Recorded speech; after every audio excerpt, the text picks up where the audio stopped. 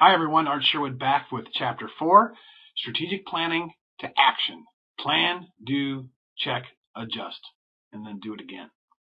Chapter 4 fits into the entire process. Once the ends have gone to interpretation, to strategic planning, we finally get to plan, do, check, adjust. And here's an overview. First I'm going to talk about the plans and planning themselves and differentiate between standard operating procedures and plans of action. Then we go on to do and talk about making it happen. This is the fun stuff. This is the stuff that really is out there and the activities that go on every single day. Check. We're going to talk about how to check and see how you're doing. And finally, we're going to talk about adjust and do talking about course corrections as you're moving through uh, time. So what's the practical challenge here? How do you take it from strategic planning to actual action on the ground? It's not enough to plan. We've got to actually act. How do we know if anything's getting done when we are acting? How do we know if it's working? And how do we adjust what we're doing as we're moving through the timeline in the plan? Well, one process that has been uh, put forward by Deming and should be familiar to many of you is plan, do, check, adjust. And just like it's worked for many conventional businesses, certainly works very well for us and our cooperatives as we try to bring ends alive. Planning. Strategic plan to action on the ground. SOP and POA. These focus on actions. Our SOPs are standing operating procedures. These are basically designed to keep things the same. We have standard operating procedures in our deli for food safety. We have standard operating procedures for how we do our pricing and our labeling. These are things trying to keep things consistent. A POA, or a plan of action, is a one-time action plan, which is more like a project. It has a distinct start and finish that drives shorter-term activities. So basically what we're doing is we're making something new or different. So rather than SOP, which is trying to keep things the same, a POA, or plan of action, is trying to change something. Each of these has measures for how we're doing. And each of these is about cause and effect, the underlying principle in all of our strategy. We do something and something happens. So let's take a look at this. Let's go back to that end related uh, to employees in Chapter 3. These were the strategic objectives. By 2014, we'll have develop an amazing staff. The co-op implements open management and a quarterly and annual bonus program. The co-op ranks in the top quartile compared to other co-ops in the majority of the measures in the employee satisfaction survey. And the co-op will keep and maintain less than 30% turnover rate. How does this all fit? The cause and effect. So here's the effect. We just went through those three different uh, outcomes that we are trying to achieve by 2014. SOP, follow the employee's handbook. Keep things the same. Keep within those guidelines in that standard operating procedure.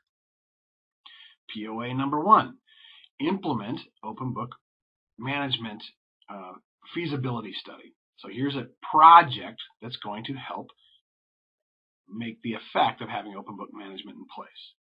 POA 2, build and implement departmental cross-training programs. These programs being built will ultimately help with the amazing staff. And POA 3, update and train employee grievance procedure. So again, a start and a clear start and finish in here with this project, which will ultimately lead to the effects that are desired. Now, when we're talking about do, this is what happens every day. It's making ends come alive. It's really the critical component of making ends for everybody.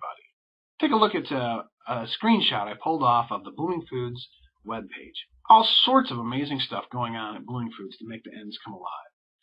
Take a look at this. Local and education both of these being market for local and organic and increased local food knowledge are ends that the board of directors has decided upon. Another end is a model, sustainable, profitable business. And finally, there's going to be more uh, strength in our co-op system. As you can see, just right here on this one screenshot, the ends are really coming alive at Bloomington. From do, you want to go and say, how are we doing? We want to measure. We want to keep track of progress. We want to analyze what's going on, understanding how we're doing and what is the cause and effect that's going on. And here are some practical considerations. Number one, you know, use systems you have in place, including data collection systems and regular meetings. This doesn't need to create an entire new system.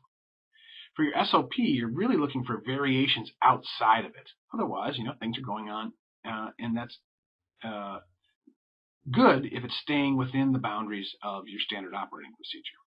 And for POAs, you're looking for progress. Is it complete? How much progress have we made?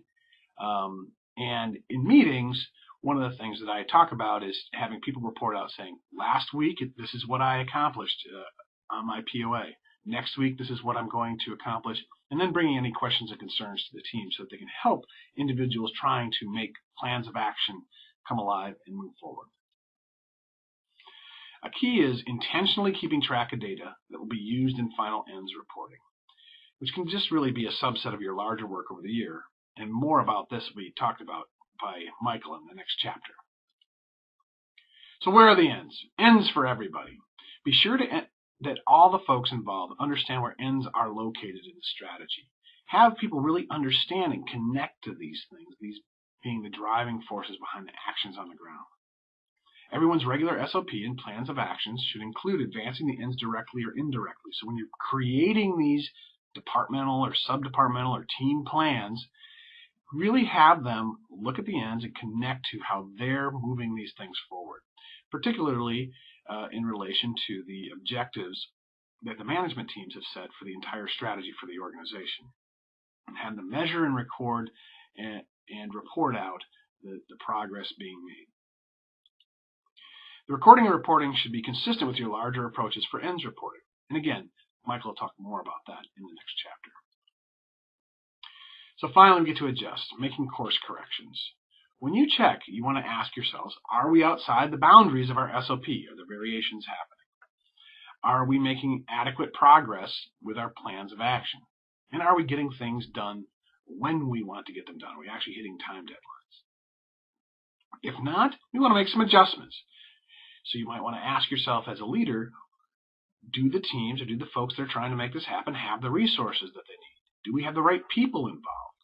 And what else can we adjust in order to make this work while we're making it happen on the ground? And finally, we have to realize that this is not just a one-time thing. Plan, do, check, adjust. It's an iterative process. We continue to do this as we move throughout the year, as we implement our action plans, which ultimately implement our strategy and then deliver on the promise of the ends. So chapter four has taken us through the plan, do, check, adjust component of the ends to ends process. In the next chapter, they'll be talking about ends reporting, and that will be with Michael Healy.